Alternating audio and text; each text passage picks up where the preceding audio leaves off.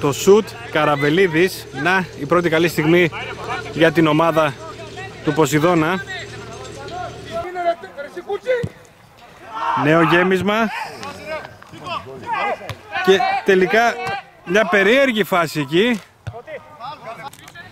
Δύο παίκτες τους Σόκου πάνω από την μπάλα. Ο ένας είναι ο Αχαλινόπουλος. Αφήνει τελικά το σουτ που γίνεται. Πολύ καλή επέμβαση του συλλέκτη.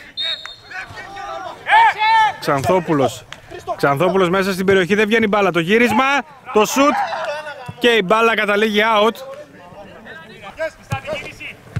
Γίνεται η κάθε την παλιά, δεν είναι offside το σουτ και τελικά η μπάλα κοντράρει και καταλήγει corner.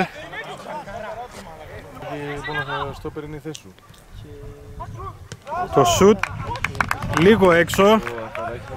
Πολύ καλό σουτ. Για να δούμε μέσα στην περιοχή η ομάδα του Ποσειδώνα. Το γύρισμα, το σουτ. Πάνω στη γραμμή. Διώχνει ο Ραφαηλίδης. Για να δούμε, περνάει μπάλα τώρα μέσα στην περιοχή. Το γύρισμα, το σουτ. Καραβελίδης λέει όχι. Εκπληκτική επέμβαση από τον Καραβελίδη. Η φάση δεν τελείωσε. Νέο σουτ. Η μπάλα καταλήγει out. Διπλή φάση εδώ για την ομάδα του Ποσειδώνα. Σε αυτά τα τελευταία λεπτά. Το σουτ που γίνεται στα χέρια του goalkeeper Χαλινόπουλος τώρα από δεξιά κάνει τη σέντρα μέσα στην περιοχή το σουτ και η μπάλα καταλήγει out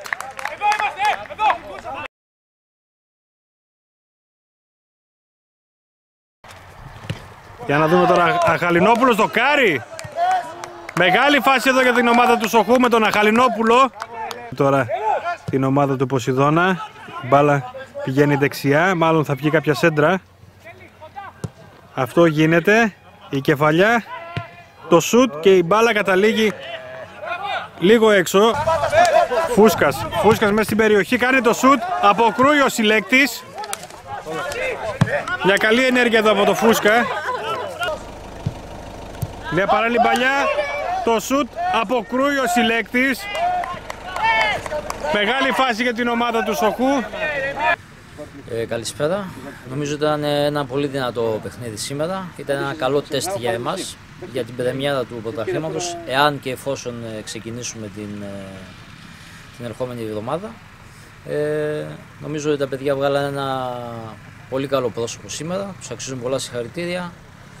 Ειδικά στο πρώτο ημίχρονο νομίζω ότι ήμασταν ε, εμείς αυτοί που είχαμε την πρωτοβουλία των κινήσεων. Στο δεύτερο ημίχρονο θεωρώ ότι ε, ο αντίπαλος ήταν λίγο καλύτερος από εμάς, πατούσε λίγο καλύτερα στον αγωνιστικό χώρο.